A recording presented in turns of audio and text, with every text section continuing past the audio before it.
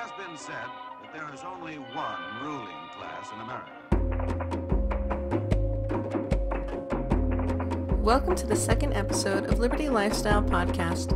Today, Tyler sits down with Danilo Cuellar of PeacefulAnarchism.com to discuss Danilo's path to anarchism, understanding economics, peaceful parenting, unschooling, and other valuable topics.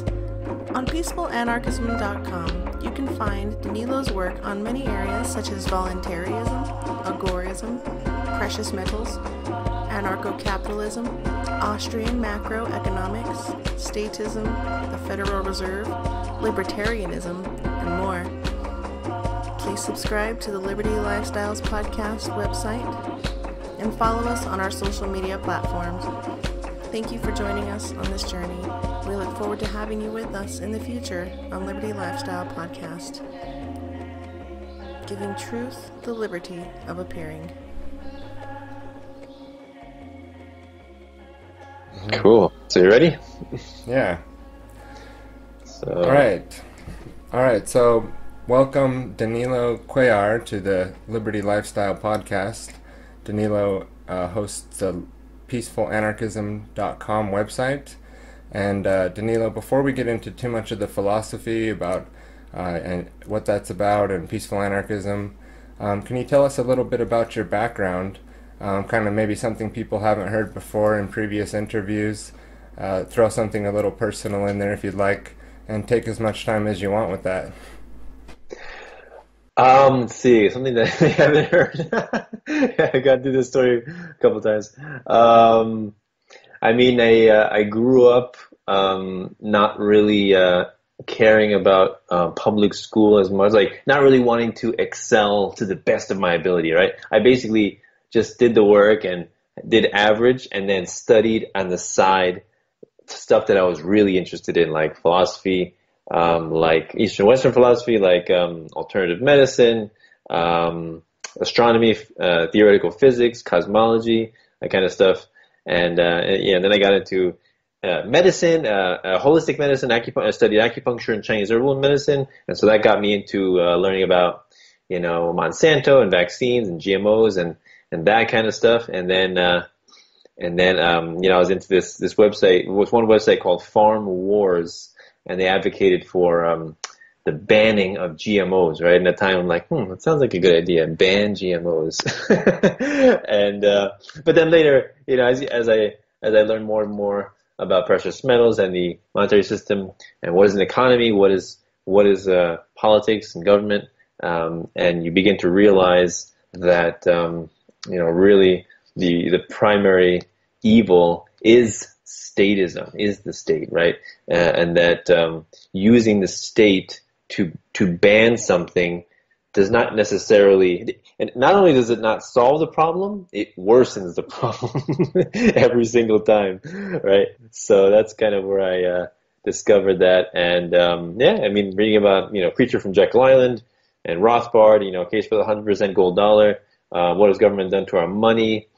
Um, Anatomy of the State, right? And Larken Rose, Most Dangerous Superstition, and then you know a couple of other uh, books like that. And so I really immersed myself uh, deeply in that. And uh, yeah, I mean, and then uh, I was telling you before, Michael Shanklin approached me about doing uh, contributing content for the Voluntary Virtues Network uh, in 2014 or in May. And um, pretty much every single person that has started has stopped except for me. So if you go on the Voluntary Virtues Network channel right now, YouTube channel, you will only see videos of me of my interviews. it's kind of funny. It's become my it's become my default channel. Like it's kind of funny.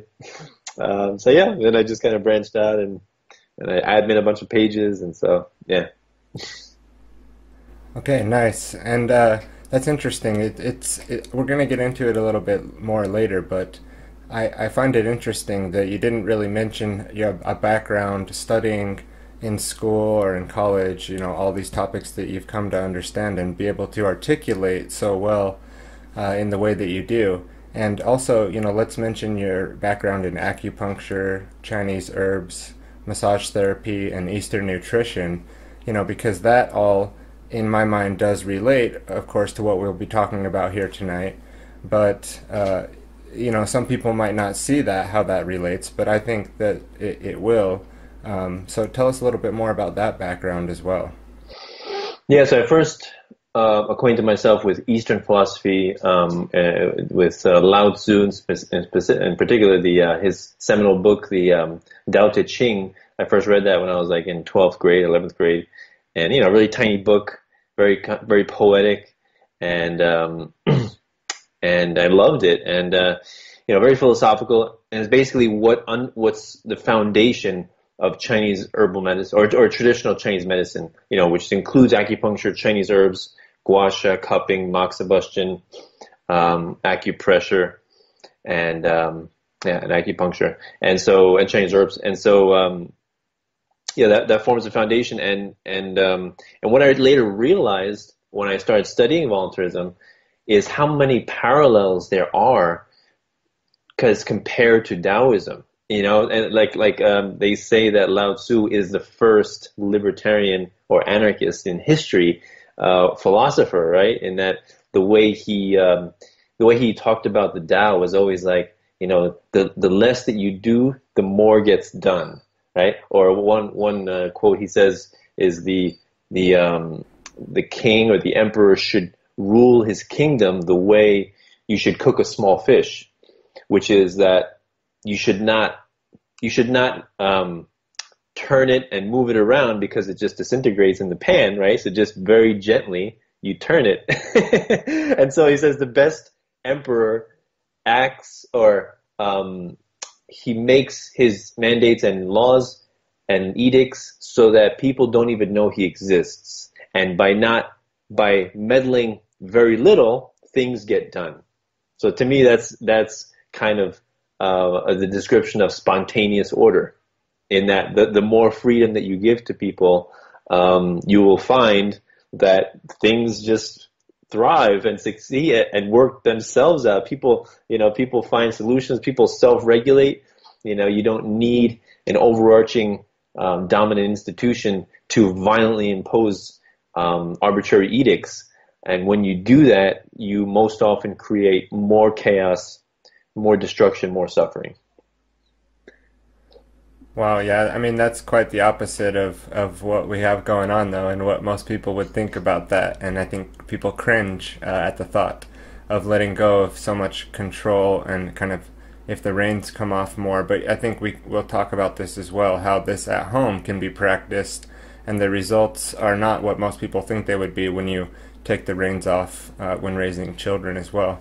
Um, but let's switch into peacefulanarchism.com that you founded in November 2013, I believe. Mm-hmm. And uh, what is peaceful anarchism? So, yeah, I actually I actually decided on, on that name pretty quickly.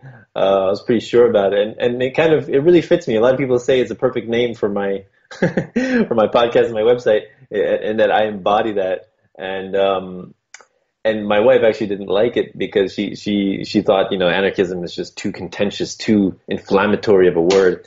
And I said that's why we put the peaceful in there. Got to make sure you you uh, make it clear we're about peace. That's our focus, right? Um, and, uh, yeah, so in the beginning, I started writing articles for the most part, and um, you know, and, and, including other people's videos. But then once I started making my own content, you know, slowly it kind of morphed into focus on my own content now. And so that's all I do now is basically just um, post, you know, my short videos and my interviews and my and I used to do solo podcasts, and so I, I used to do that.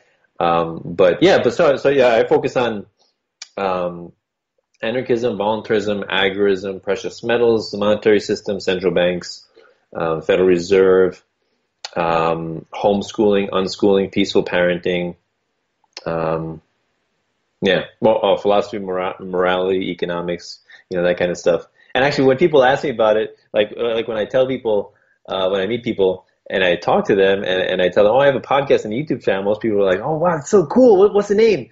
And so I said, hold on, I'm not going to tell you the name yet. Let me tell you what I talk about.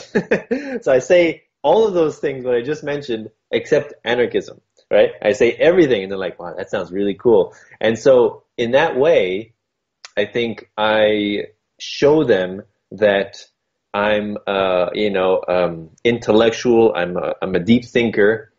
And then after they understand all that, then they say, oh, by the way, I'm an anarchist too. yeah. and, and so in that way, it kind of dispels their apprehension um, as to what they might feel if I were to say that word first, right? So that, that's just my that's my way. Absolutely, and I think the tagline is uh, "Just do good things." I think you could start with that as well. You know? yeah. Start with the tagline. Yeah, actually, that's I, I can't claim ownership. I can't claim credit for that one. I got that from this. There's this. Um, at one point, my wife and I were kind of got into a little bit of a raw, um, uh, what is it, raw vegan group, and we went to like one or two of their meetings. And the one guy, and we were on, I was on their emailing list, and every time he would finish his email, he said he finished with "just do good things," and I thought that was such an awesome phrase to end your, um, you know, end his emails. And I'm like, I'm gonna adopt that. I loved it so much. That's great. Yeah. Uh, you've also been involved with a lot of other networks like the Conscious Resistance, the Seeds of Liberty. Uh, you mentioned the Voluntary Virtues Network. Uh, tell us a little bit about that and your, your kind of uh, relationship with these various groups and, and how that's going. Yeah, so the Voluntary Virtues Network started in May 2014. Michael Shanklin approached me about that. Probably maybe like 30, 40 other content creators. We were all making videos for this one YouTube channel. And, and, and so it was really full of, of people and, and different kinds of uh, videos and then slowly they all whittled away, fell by the wayside, and I'm the last man standing. um, and uh, and so yeah, that's that's that's fun. And then and then the other one is the um, the Conscious Resistance Network, uh, headed up by Derrick Broze and John Vibes. And he approached me a while ago, and he wanted me to post my videos on his channel, so I I do that. I met him in um, Liberty Fest, uh, like I think twice in Brooklyn here in New York, and uh, he's a cool guy. And I read his book, the first uh, book of his uh, trilogy, and uh, he's a really cool guy. And and then the Seeds of Liberty podcast, I started with uh, Jeremy Hengler and Dave Painter from Facebook, and um, yeah, we started that like um, to come on two years now. And I, I think it's two years, yeah. And, and they're actually going to have their hundredth episode very soon, um, next uh, March, and um, and so they yeah yeah we started that together. And i mean slowly i because uh, they they transitioned to a different format or a different platform and i couldn't follow so i kind of stopped but they're they're still doing it so that's great. Um, but yeah you know we basically you know the way the name was was uh, uh, originated was dave was saying you know i feel like i feel like i'm johnny appleseed planting seeds of seeds of liberty. And he's like wait a minute seeds of liberty That's how it came about. That's awesome. Um, but yeah, yeah, they're they're doing pretty good with their Facebook page. You know, Jeremy makes his memes, and some of them go pretty good, pretty viral. Um, so yeah, it's good stuff. Excellent. So, uh, how did you become an unschooler, and are you a radical unschooler? Yeah, it's a good question. Um, I I, I, yeah, one of the things I tell people that I focus on a lot in my channel is I think um, homeschooling and unschooling and peaceful parenting. I think those are, I mean, partly because I have kids and, and that's, and so I identify, and also I hang out with a lot of homeschooling um, and some unschooling uh, families. And so, um, yeah, so I'm, so I'm pretty acquainted with that. But, um, but yeah, I just like to focus on that because I really think that the way that we raise our kids is paramount to transforming the future the way we want to see it. So basically, I tell people, whatever way you want to see the future, that's how you raise your kids, right? Or or another way is um, some people say, you know, you got to raise your kids to be tough, you know, be you know, have give them thick skin so they can uh, deal with the world because it's a cruel and heartless world, right? Whereas the way I look at it, I say, well, maybe if we raise our kids to be, you know, kind, gentle, compassionate, and loving human beings, um, maybe the world will then be a little less cold and heartless, you know, rather than preparing them for like war. and so, um, that's for me, that's the idea of peaceful parenting and how important that is.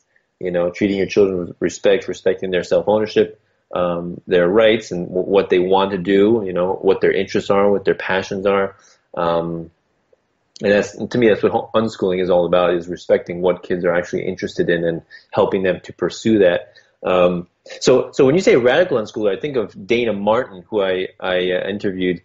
And uh, she's a fascinating woman and you know she wrote you know she's done a lot for unschooling. But um, but yeah so i think when you say radical unschooling what i think about is is like no rules. Absolutely, you know, kids eat whatever, kids go to bed whenever, kids, you know, do whatever.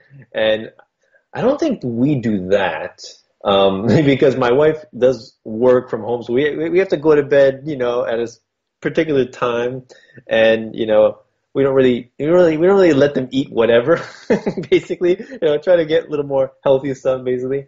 Um, so I wouldn't say we're radical in that way, but I definitely would say that. Um, yeah, the unschooling aspect, as in as in as little structure as possible, and basically, um, you know, the way I describe it to some people is, I don't know the future, I don't know what will be relevant in their future, and so how can I possibly tell them this is what you need to know for your future in 20 years when you're an adult, right? I have no idea, right? So basically whatever they're interested in, whatever they follow with enthusiasm, with passion, that will necessarily be what's relevant to their future.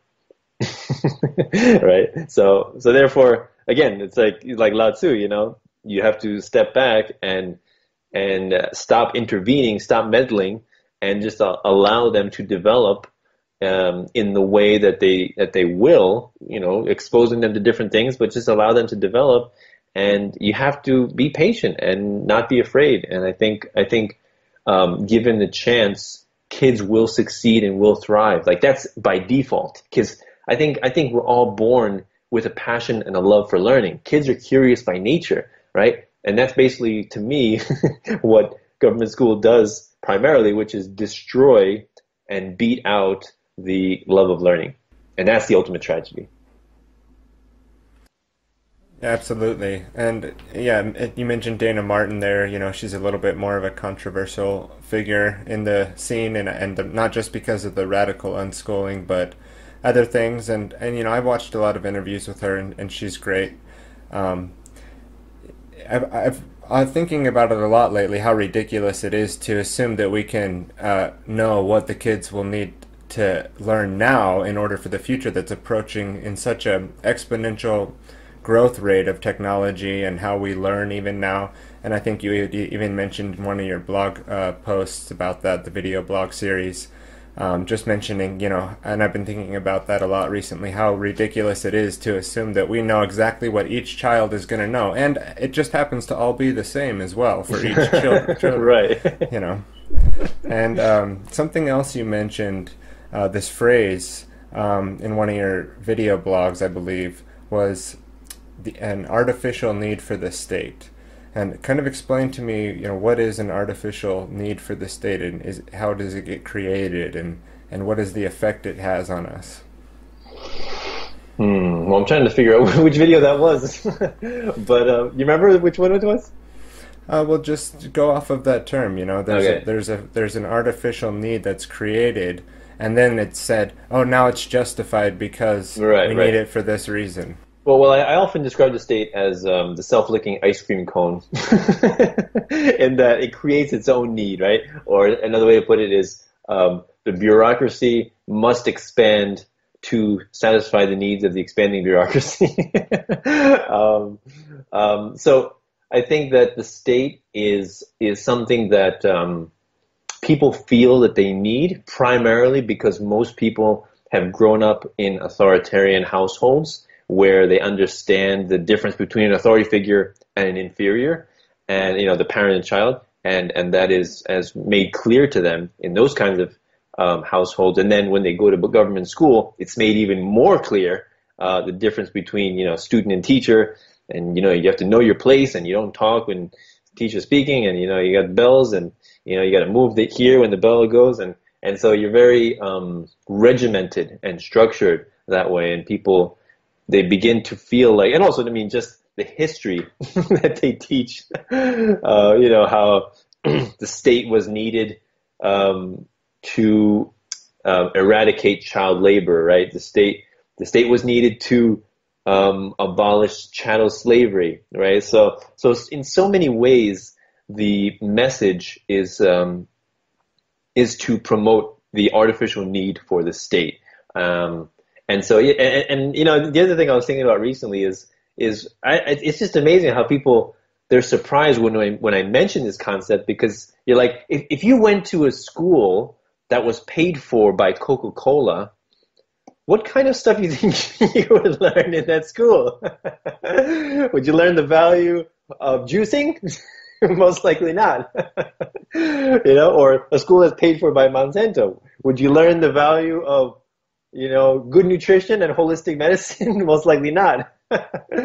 so, um, you know, whoever, how do they say, whoever pays the piper calls the tune, right? So whoever's, whatever, wherever the funding is being come where is coming from, you you really have to expect that, that that institution will make sure that it will create the artificial need for its existence, right? So all government schools are funded by taxation, right? And and so you know it's Department of Education, and so how can you not think that kids that go to government school will not be inundated with this kind of um, propaganda? Um, and and so yeah, it, it's just it's not it's not surprising when you when you think about it like that. You think about you know from uh, economic standpoint, human incentives, right? You know, um, you know you, you're you're getting money from here, so you gotta you gotta realize what's going to be the out the outcome of that. So um, yeah, so so in that in that perspective, it's um, it's obvious. now, did you go to public school? Yes, I did. And and you know what's interesting is that that's one of the uh, things that my parents, who not necessarily are um, supportive of, of homeschooling, um, I got you know a good amount of resistance. And uh, one thing my mother said was was um, you went to go you went to public school and you turned out okay. Look, you got you have two kids, you got a beautiful wife, you got a nice you went to college, you got a nice profession, you know, you're a smart guy. What's wrong with public school? and and basically what I what I respond to that is, well, there's um, something called uh, you know a principle by Frederick Bastiat called the seen versus the unseen, right? So um, you know what you see, like for example, like taxation, right? You know what you see is money being stolen from productive individuals, and it goes to building a bridge, and they say, look at that, it's wonderful. The government built a bridge, isn't that a wonderful thing? And then, but that that's the seen so the unseen is what would the people have done voluntarily with their with their currency if it wasn't stolen by force, right? And so the same thing. Um, I was forced to go to government school for for um, 12 years, right? 15,000 hours, and and that's the seen, right? I learned all this stuff. I mean, I, I wouldn't even call it learning because learning is voluntary, right? It's more like indoctrination. you were not given a choice. Um, and so the seen is that I went there, but the unseen is all the lost opportunities of time that I could have spent devoted to learning things I was actually interested in. That's the part you don't see. The destruction of the potential, the unseen potential. So yeah. right. Yeah, it's horrible. Um, and you know, that's pretty interesting that once you've come out of that, um, you can still manage though to um, develop critical thinking. It can be reinstilled. Um, you can deprogram. You can go through that process. We can still heal. Um, it's possible. It's unfortunate, like you said, that the time can't be. Um, you can't get that back, and I, I feel the same way. It, it, almost angers me to a certain point. Um, uh, switching gears, though, Let's move into a little bit more of economics. What is the free market and or a free society and do we have that now? Yeah, yeah, the free market um, the way I describe it to people is just or capitalism even synonymous to me is people interacting peaceful people interacting interacting voluntarily, consensually, right, with c- consenting um, contracts or or transactions. And um, and to me that that forms the the majority of what we call the economy right the, the economy is just billions of peaceful people interacting consensually voluntarily um, and everything, and, none of that requires force at all, right? All that is completely voluntary. Every business must survive solely based on the merit of its good or service, right? It's a meritocracy. Um, whereas the state is the parasite that comes in, inserts itself, and siphons off a small portion of that wealth, that productivity, right? And uh, and then comes around and claims that we would be, you know, violent cannibals if it were not, if it did not exist. Um, so so yeah, to me, yeah, the free market is just is just again what people do naturally, which is be productive. Most people are productive, right? Whereas whenever the state tries to help um, people that maybe um, can't be productive for whatever reason, most of the time it's doing more harm than good. Like let's say the welfare state, right? Incentivizes people or rewards them for sloth, for laziness, right?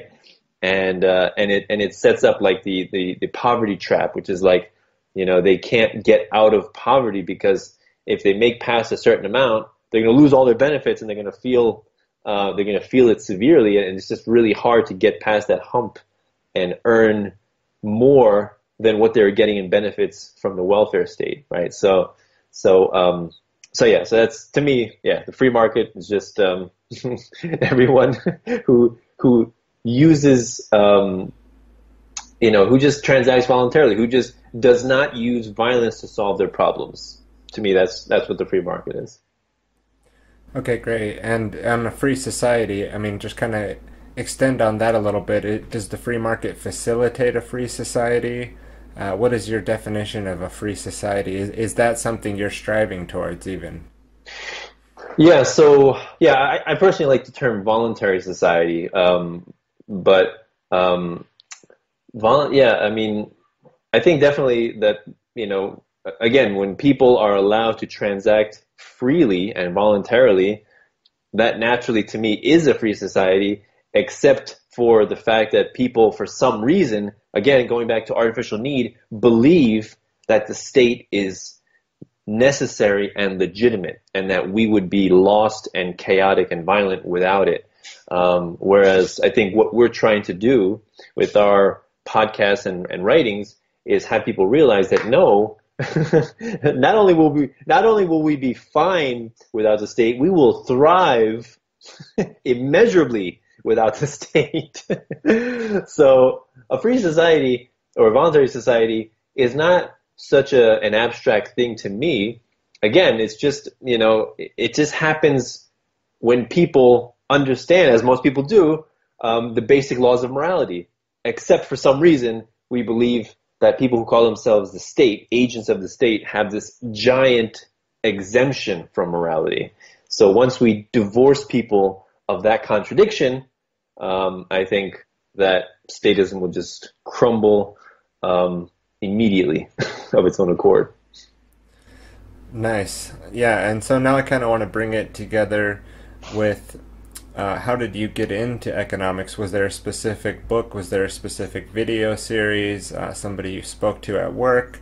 What kind of brought you from your background, uh, 15,000 hours in public school, um, to a kind of more Eastern uh, studies in college, which maybe kind of opened you up to accepting things a little bit more, maybe in a certain way? How, how what, what was it the economics? Because where's the jump there into that interest? Um, so the first the first time I heard about economics was in in um, twelfth grade. I took an economics class, and I remember uh, this is one the one lesson I remember from that class was uh, the, the, guy was talking about um, the law of diminishing marginal utility, and um, and he said it was like seventh period, right? So near the end of the, the school day, and so he said, "Who here didn't have lunch?" Right? A kid raised his hand.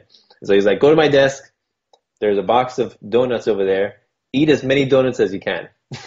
and so he's teaching, and then and then he comes back like I don't know, 15 minutes later, and the kid's done, and he's like, "All right, now first donut, scale of one to ten, how good was it?" And he's like, "Oh, it was awesome. I didn't have lunch. It was beautiful. It was, I don't know, nine, ten." And then and he's like, second donut. He's like, "Yeah, that's, that's still pretty good. Maybe eight, nine." Third donut, he's like, "Oh, I was getting full." After that, five, six.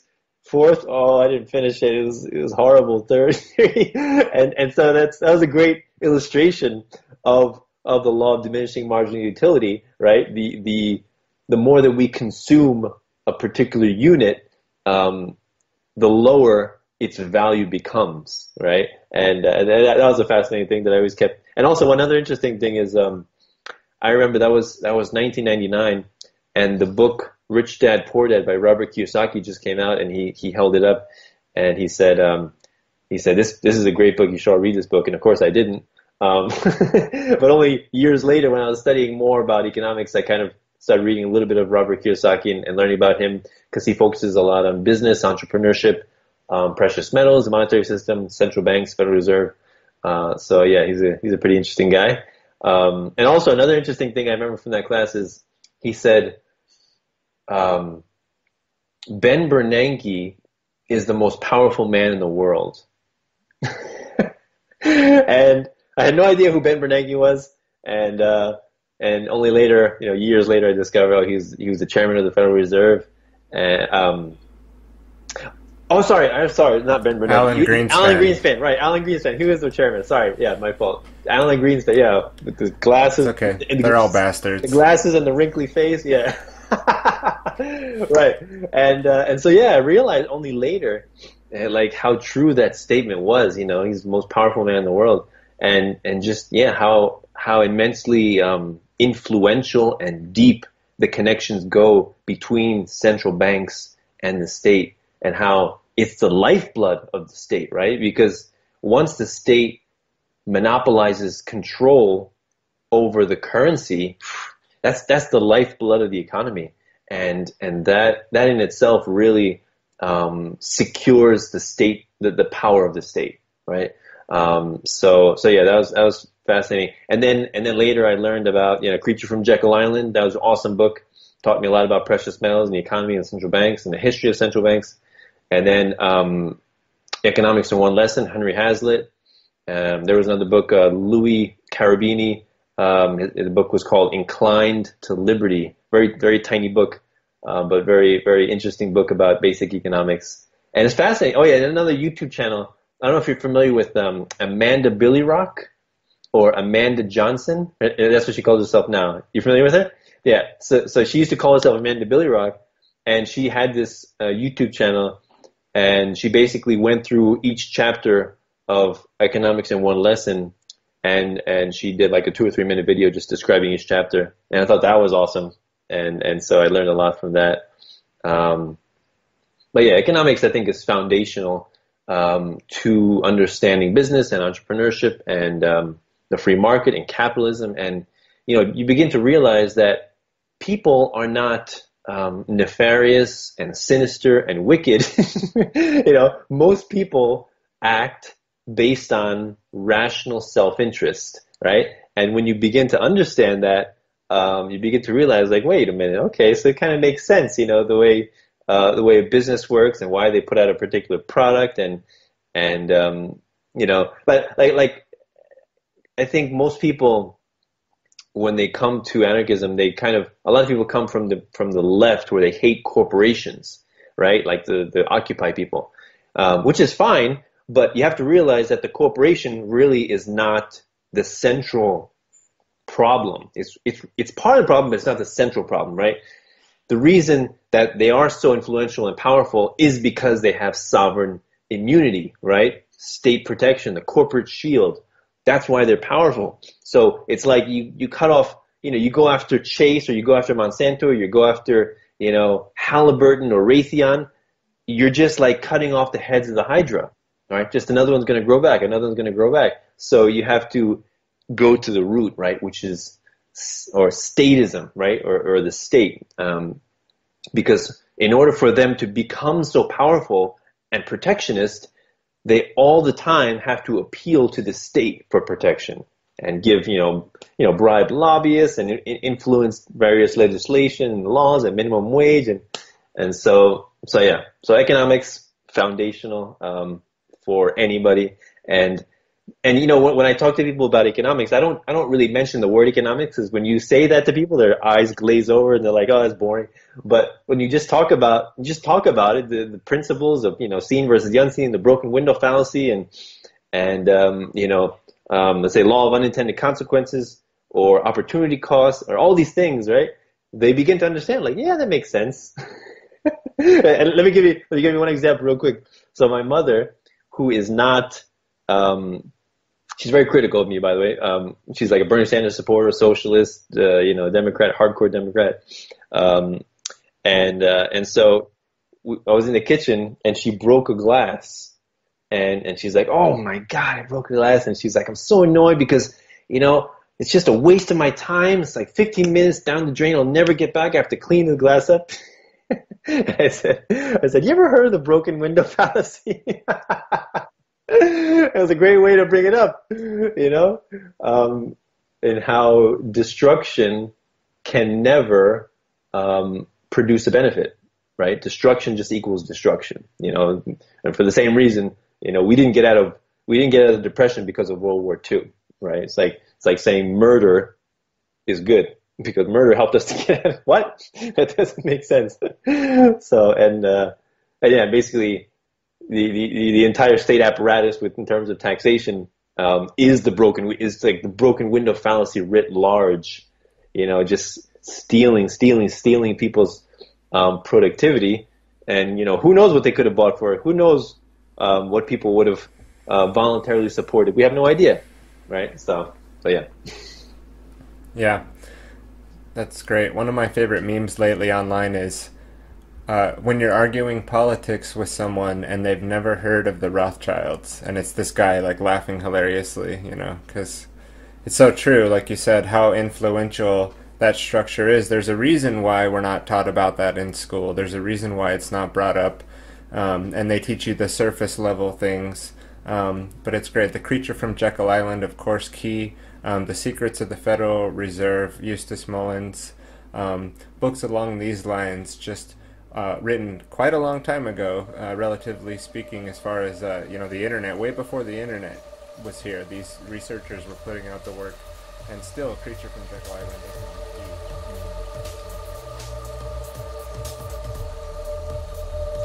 Hello, everybody. This is Danilo from PeacefulAnarchism.com. Out here in nature, once again, enjoying the spontaneous order that is the world around us. Today, I want to talk about the idea or the argument that we need the state because we need somebody who's going to make the rules. We need somebody in charge. Everybody has to comply with the same rules. There must be a uniformity. Somebody has to be in charge. Now, I think this illustrates the fundamental misunderstanding of what anarchists advocate, in that we advocate for no rulers, but not no rules. There are fundamental rules inherent in nature, in mathematics, in chemistry, in thermodynamics, in morality, in dating. that are commonly understood that don't require a central authority to fabricate decrees and mandates punishable with violence. It's not necessary. Everyone knows if you try to violate the, the law of gravity, what happens? If you try to violate laws of mathematics, you just make bad mathematics. if you try to violate the self ownership of another human being in the form of theft, assault, rape, and murder, there will be natural consequences. Whether it be by those individuals, those victims, or their families, or their friends, or a private security agency. The fundamental idea of anarchism and voluntarism is that nobody has an exemption to the laws of universal morality. And that is exactly what the state is one giant exemption on morality. If the actions that the state or agents of the state do are done by private individuals, it is a crime. There is no there is no exemption on morality. There can never there there can never be. So there we are surrounded by a world of rules. Um, you know, as I said, the dating the dating world, many rules about how to date, and it mostly involves consent. When there is no consent, that's, that's not called dating anymore. It's not called a relationship. It's called assault or rape. So it's fundamental to understand that these rules that people,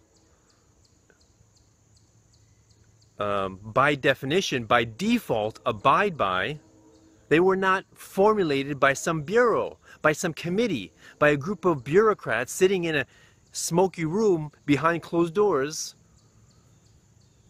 inventing rules that everyone else must live by. No, that's not how the world works.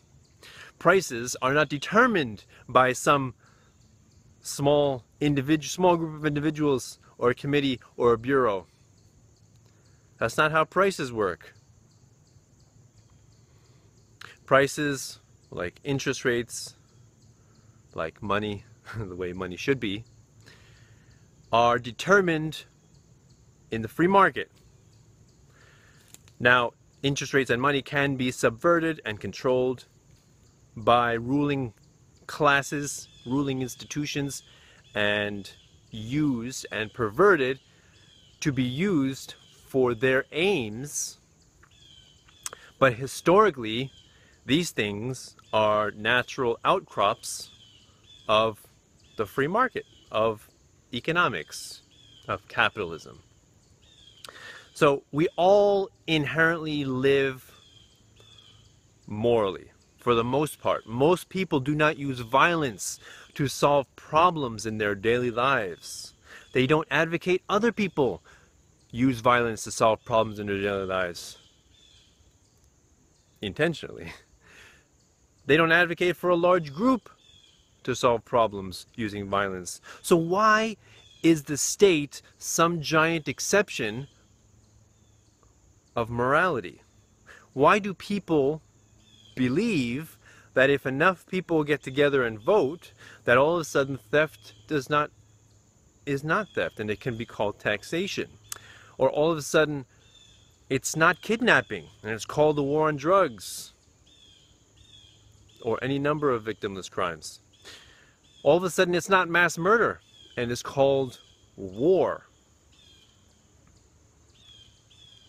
Only when people fabricate this belief in authority, this idea of statism, do the the world of morality that we all inherently understand as children in the in the form of don't hit and don't take other people's things only when people fabricate these ideas is this world mutated and perverted and transformed into something monstrous and barbaric.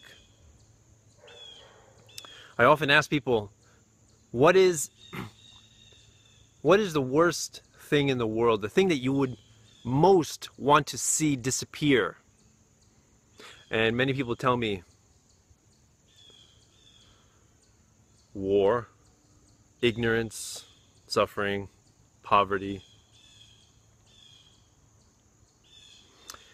And I would assert that many of those things either stem directly or indirectly from the state or the idea of statism.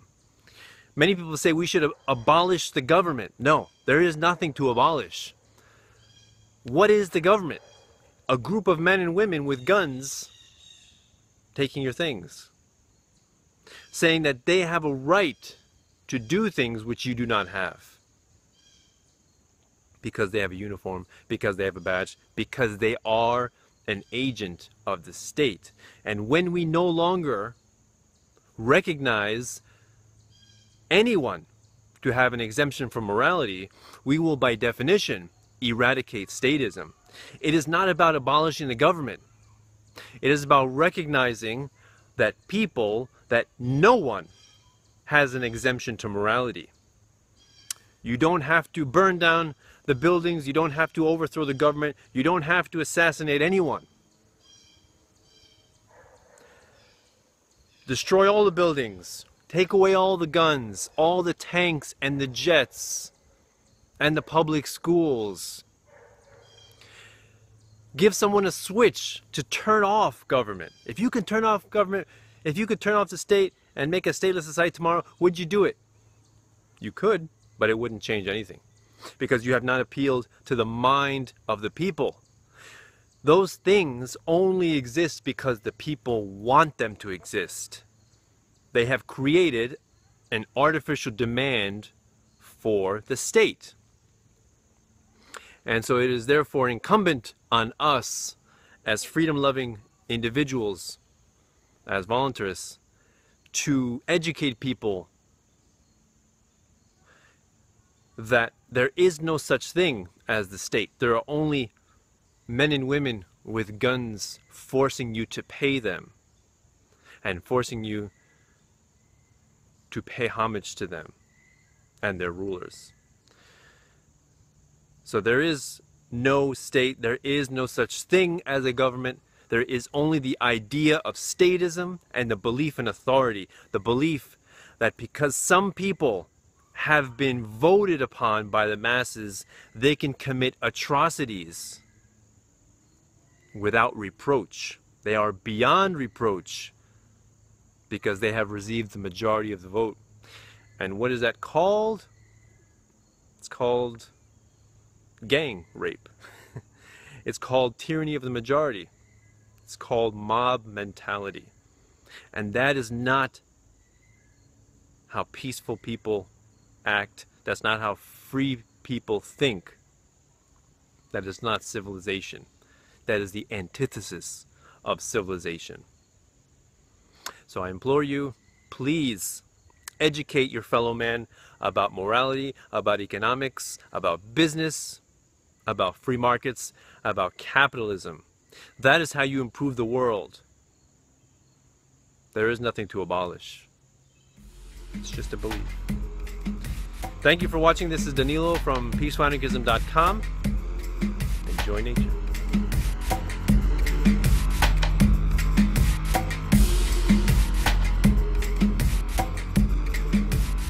All right, cool. Yeah. So, uh, what are your thoughts on the whole cryptocurrency and Steemit and Bitcoin or Dash? Uh, you know, what are your thoughts on crypto in general? Um, yeah, I mean, I love them. I, I, love the fact that they're challenging the dominance of the um, of the Federal Reserve note uh, or the U.S. dollar, um, because yeah, I really feel that you know that Federal Reserve product is really the, the foundation of the control of of um, of the United States federal government around not only here but around the world in terms of the petrodollar, right? and and the way I don't know if you're familiar with Mike Maloney from um, GoldSilver.com. Um, he produces uh, yeah, he's a he's a gold silver dealer, but he also does a great documentary series, mini mini documentary series called "The Hidden Secrets of Mon- of Money," and um, and he's on like um, eight episodes. Each episode is like half hour. Really awesome, very informative, and um, and basically, you know, he says that we have a great deal going on, right? so the deal is we we give everybody else paper and they give us stuff. Isn't that an awesome deal? we print the paper and they give us real things, refrigerators and cars and you know? Well, how can you get better than that? Electronics, TVs, whatever, you know? We just give them this paper. And that paper is backed up by the might of the US military, right? And, you know, um, prime ministers or dictators or um, you know uh, rulers of other states uh, that attempt to circumvent that um, that petrodollar, that U.S. monopoly, um, that world reserve currency. You know, try to use either you know trade in in uh, other um, natural resources like oil, or trade in gold and silver, or trade in their own currency. Um, many many times they come to disastrous conclusions. You know, toppling of regimes, assassinations, occupations, coups, all this kind of stuff. And and so you really um, you begin to understand how powerful and how necessary the dominance of the U.S. dollar is to the power of the state. And so and that's why cryptocurrency is so valuable because it's undermining it, it's weakening it, um, it's hastening its demise not by force or violence, but in a way that's like stealth. And and it's like it's like uh, I, I, like to imagine cryptocurrency like uh, like a ghost. And and the United States is like a man with a sword trying to swing at the ghost and, and the ghost is like just laughing at him because all he knows is violence that's all they know right and and I remember hearing one time that um, in in an attempt to confiscate or, or shut down a Bitcoin site. Like um, they, the, you know, some agents of the state went to this place and they're like, you know, you guys have Bitcoin here. You know, we hereby seize your Bitcoin, and they're like shutting, you know, destroying their computers and, and their monitors, and and and uh, and, and, the people there were just laughing at it. They're like, haven't you heard of the cloud? Or like, what's wrong with you people? or you know you really think you're gonna kill our Bitcoin by destroying our computers? and and so it's it's just funny how um, how backward you know um, agents of the state are. You know, um, and, and it's kind of funny how I think that a lot of people who are into like um, conspiracies, like you know, who get really deep into Alex Jones and maybe David Icke, and they they really think that the state is like so advanced, right? They're like 20 years advanced in terms of technology and they just know so much and you can never outsmart the state. No, that's to me, that is definitely not the case. It's like, you know, you, you look at, I don't know, um, look at how much electronics have developed and then look at how much public schools have developed over decades. And you'll see how how slowly something gets um, how slowly something improves and progresses when there's no competition when there's just a monopoly right? Whereas when there is competition you see people just you know inventing new things improving things making it cheaper making it faster making it smaller. Um, and and you don't need any control. You don't need any mandates. You don't need any, any rules of that. Th- things just happen right? Um, so so i love bitcoin. I love um, you know, I, I don't really know as much as a lot of other people. I have a Bitcoin wallet, an Airbitz wallet. Um, but yeah, I mean, I hear a lot of great things about, you know, Dash and Litecoin and Dogecoin. And I remember seeing a, a list of the names like Philosopher Coin and Hobo, Hobo Coin and Ron Paul Coin. There's like, you know, for everything, everything you can imagine, which is awesome, you know, competition, bring it on. And, and, and you know, you know, it's funny. I like to talk to people about Bitcoin and and most people um, they what they know about Bitcoin is what they see on like you know CBS, NBC, Fox, you know ABC. That's all they know, right? And so they're like, oh, Bitcoin was hacked. This these Bitcoin was stolen. This one got corrupted. This these people, you know, stole all their money and all. That's all they know about it, right? Um, but um, yeah. Mount Mount Gox. That's all they know. Mount Gox. Yeah, exactly, exactly. Uh, and so, and, and and I've interviewed on my channel a lot of um, Bitcoin specialists and and experts, and it's just fascinating to talk to them because um, they can just debunk these these myths so quickly. Like um, like like the Mount Gox, for example. You know, it collapsed. It was like um, it was like um, what do you call that? Uh, a hub, right? A meeting place where people stored their coins there, and they could also trade and buy things. and um, yeah, that that kind of got hacked, and people lost a massive amount of Bitcoin. Um, but it's kind of like saying, if a bank gets robbed, then the money, the the problem is with the money. no, the problem is with with the security of the of the institution that's holding the money, right? Not the money. Um, or or they say, oh, people do you know they trade in drugs, they buy drugs with Bitcoin. Yeah, then they buy more drugs with dollars. so what's your point? you know, um, but uh, but yeah, I mean, I love the fact that it's it's you know it's anonymous. I love the fact that it's like lightning fast speed. You can transfer money long distances for a fraction of the, of the amount of like you know like um, Western Union and and, and all these um, you know antiquated ways people used to transfer money. People still do, unfortunately. Um, but I think that's one of the best ways that people that, that we will evolve past statism is it's not about abolishing the state. It's not about it's not about destroying the institution. It's not about defunding this agency or that agency. Um, i think it's about just as the buckminster fuller quote right? You don't destroy a paradigm by fighting against it. You you produce um, a new paradigm that will uh, render it obsolete right? So that's that's one of the best ways. That's the way i see cryptocurrency happening is just it's just rendering it obsolete like like when email came, who uses mail anymore? No, who uses who writes out their mail? Nobody, right? So when when Bitcoin, or it doesn't even have to be Bitcoin, whatever cryptocurrency establishes uh, the dominant um, cryptocurrency as being um, efficient, quick, um, you know, able to transfer uh, value over long uh, distances very quickly, and you know, is secure, encrypted, all that kind of stuff. Um, whatever whatever the market decides is the both the best suited for those um, attributes, that's awesome, you know. And and I think that um, once people begin, and also the other thing I love about Bitcoin, and I tell this often, is that you know the value has risen, not because of a of a of a law. Like for example, there's legal tender laws that say we have to use Federal Reserve notes, right? By law, you don't use it, you know, you you you, you get punished. There is no law people have to use Bitcoin. So why are people using it? Because it's awesome. because it's convenient, because it's fast, because it's secure, right? So basically people want to use it. They're they naturally gravitate towards it. And that's why it's so great, right? Like that's why the value is rising because people are voluntarily using it. People are basing their businesses on it and they're forming their infrastructure around it. And and so um, so yeah, that's why it's because it's voluntary. Basically, it's all voluntary. so yeah.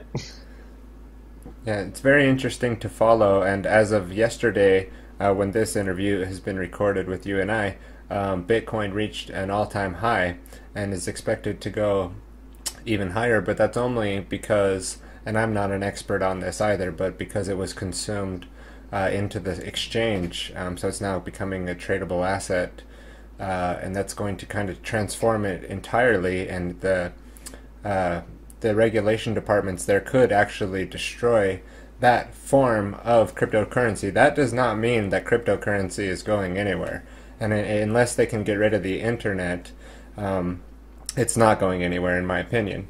Uh, I love that our Fuller quote that you shared. I, I read it all the time. I've used it in some of my work um, I posted it on Facebook because it's so true that, um, and that's kind of the agorism or even anarcho capitalism. Um, you know, we don't need to uh, abolish or end the Federal Reserve.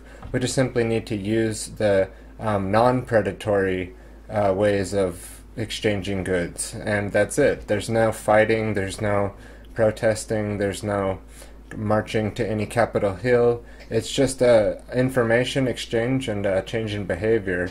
And uh, I think cryptocurrency is a bridge to a different future. I don't think it's going to be a solution forever, always. Mm. I think it's a bridge out of our current circumstances. So I'd like to share a couple quotes along those lines uh, from Milton Friedman here.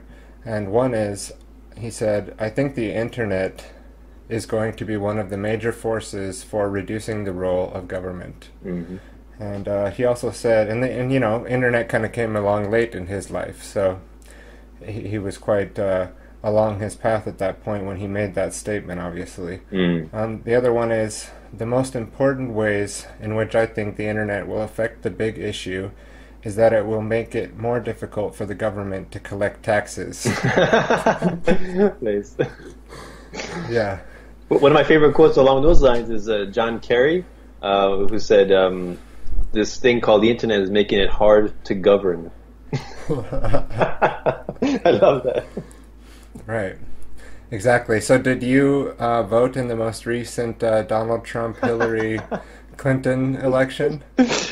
I vote. I vote with my dollar every day. I vote with my money, with my with my attention, my participation. I don't vote in, in elections, in farces. Um, I, the last time I did vote uh, was 2008. I voted for Obama. Um, and I, I, often tell that on podcasts just because I, you know, I, we like to confess our sins, right, as anarchists and volunteers.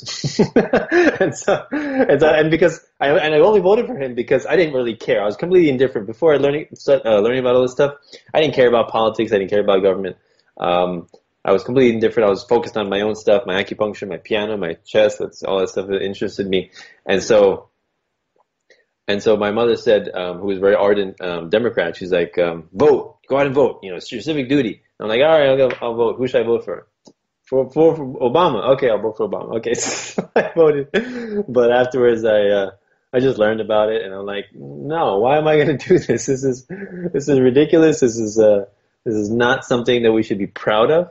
Um, it's not something that we should throw our support behind. Um, there's just there's there's just no way that that you know an institution of coercive power can uh, wield a force for good.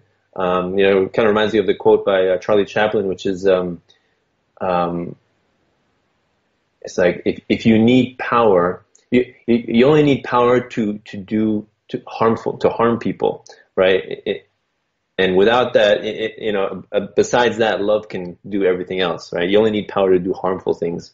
So um, yeah, that, that kind of really really resonated with me. Um, so yeah, so voting, no, don't recommend it. Don't do it. Um, yeah, I just I just stay away from it. I just I just tell people, you know, you know, the way you vote, the way you improve the world is, you know, you you put your ideas out into the marketplace on YouTube. You write, you talk to your friends, you you know, you raise your children, you know, to be peaceful, loving, compassionate human beings, and and that's how you make the world a better place. Not by not by empowering and legitimizing a um, you know a, a, violent monopoly. No, that's that's definitely not definitely not the way that we achieve progress. Yeah, and uh, um, Charlie Chaplin, I believe, became an anarchist later in life, if I'm not mistaken. And I don't know about the next quote I have for us here, uh, George Carlin. Mm-hmm. If you voted, then you can't complain. Right. not not the other way around, right? Yeah. If you didn't vote, you can't complain because once you give your consent, you've given consent. If you lose, uh, if your if your master doesn't get in, and you've lost, well, you already consented to democracy, you know, and now you've said I'm okay with whatever unfolds here, even if I lose, and so you have no right to complain once you've voted. So, so any any other thoughts on the Trump presidency? Uh, you know, how does that affect you? Um, I was asked this by my um, my my grandfather and my my mother recently. Like I guess after he was elected, which they completely hated him. Of course, most of my family is Democrat, and they completely hated him.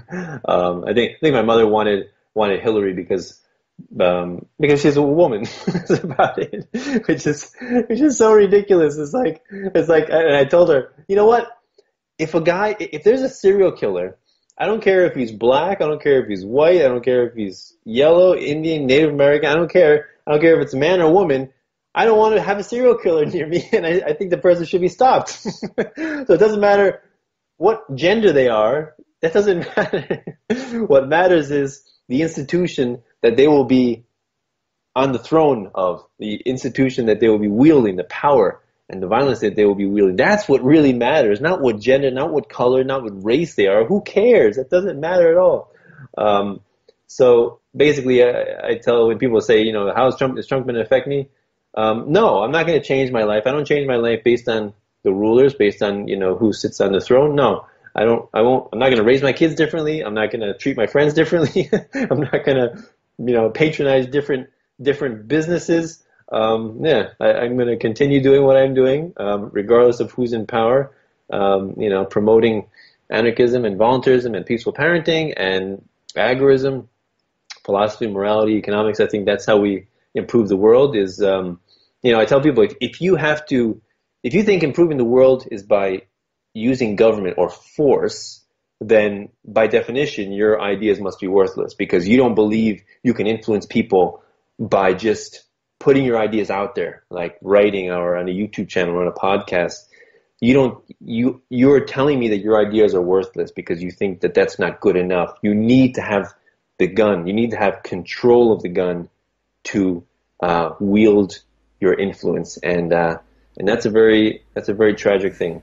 So, absolutely. Uh, on a higher note, I, have been watching a lot of your video blog series, and I just think that the scenery, you know, even the background ambiance of the birds chirping and whatnot is just beautiful. I love that um, series. I think you should definitely stick with it. You said to yourself uh, you're quite proud of it, and I think you should be. Um, the thoughts and, and the ideas that you get out there are, are clear. And I just had an arg- uh not an argument, a discussion with somebody on Facebook the other night, you know, and he kind of made the point about clarifying the message, especially with a couple of my projects being a little bit more new. And I think you do a wonderful job there. Um, also, I was just finishing up a couple last minute thoughts and looking at the Facebook channel and saw that you were very uh, good at playing the piano, and not just very good, like an excellent piano player. I watched one where you were playing with your small infant. Oh right, yeah, that's on my yeah, that's on my uh, my Facebook, right? Um, yeah, I have some some piano videos on my YouTube channel, on a different YouTube channel that I used to um, have called Peruvian Pianist, and uh, I have a couple of those, and also I have videos. I don't know if you saw of my uh, I used to do stand up comedy and so I have some of that. no, I didn't. Yeah, yeah, yeah. yeah I could I could send you those. Um, but uh, but yeah, I've been playing piano since I was twelve, and um, and you know you know the funny thing is a lot of parents who um, want you know they want their kids to learn an instrument, right? And, and they say, okay, you're going to learn this instrument for this many years, and um, I don't care if you like it or not, you're going to learn it for this many years, right? And most of the time, the kid doesn't really have a choice, right?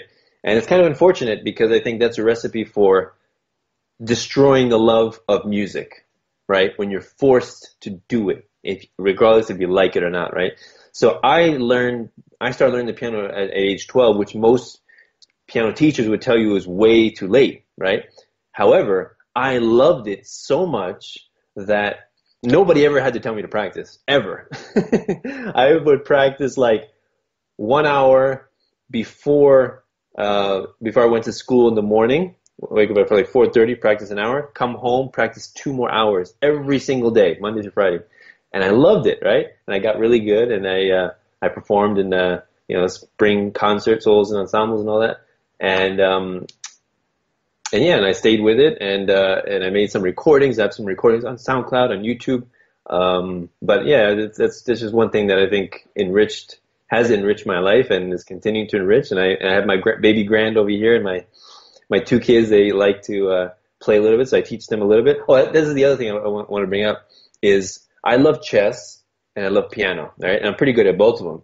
Um, but again, I did both voluntarily. Nobody ever had to tell me study chess study piano. I did it because I loved it, right? And so I can understand and see how when people learn that about me, they say, "Oh, so you're going to teach your kids chess and piano, right? and they kind of understandable, like, well, you're good at chess and piano, so obviously you're going to teach your kids. And I, and I respond by saying, no, I'm not necessarily. If they're interested, if they're inter- if they're interested in it, sure, you know. So the way I do it is I practice piano a lot around them. I I play my uh, I, I have my chess set and I play people, you know, and I sometimes I teach uh, the other kids in homeschooling group if they're interested. But I don't sit my kids down and say, now we're going to learn piano for a half hour. Now we're going to learn chess for a half hour because that's exactly why, that's exactly how they, they will end up hating it. And I definitely don't want to do that. And so, so, you know, basically, if you want your kids to learn something, basically just show them how much you love to do it. And if they are interested, then they're interested. That's great. So, so yeah, I think that's one thing that authoritarian parents um, should um, change. Right. It goes back to your point before, kind of uh, taking the reins off, taking control off a little bit, and and letting you know. I was explaining this to um, Cassandra the other night, which is like when you plant a seed in the soil. Uh, all you do is just give it the water, give it the environment, give it the soil and the proper uh, heat and it it sprouts by itself. You don't need to magically do anything to make that seed grow and sprout into a plant. It's going to do that if you provide the right environment on its own. And I think that's what unschooling is. You you provide the environment. It's a little bit of guesswork. It's a little bit of the unknown, but uh, once you provide the environment for the child to kind of start to blossom, um, then all your job at that point is just to kind of keep encouraging, keep providing the environment, um, and they will show you what they're interested in if you expose them to enough of, of the world. You know, they'll they'll provide that to you themselves. You don't need to make them be interested in things. You know. Do your homework. No, no. It's uh, yeah. I think I think children are naturally curious, naturally um, imaginative, and want to learn. They have a burning desire to learn, to learn, and um, all we have to do is facilitate that. Is help them, bring, bring them different resources if they need it. um, so yeah, I think our, our job is not so difficult as so many people think. I think so many people they get exhausted with parenting because they think, oh, it's so hard. I gotta read them these books. I gotta take them to these classes. I gotta do all, you know, help them with their homework. I gotta do all this stuff. And I don't think I don't think being a child or being a you know raising a child to be a successful if they want to be successful um, is that hard i think all kids want to thrive all kids want to be successful and and you know I, I personally think all kids want to be entrepreneurs i think that's only natural it's like once they learn once they find something they love like i think th- the next step naturally is creating a business out of it like why wouldn't you want to get paid doing what you love right i think that's just only natural you know so um, yeah. so I think there's just too many parents exhaust themselves unnecessarily. Absolutely.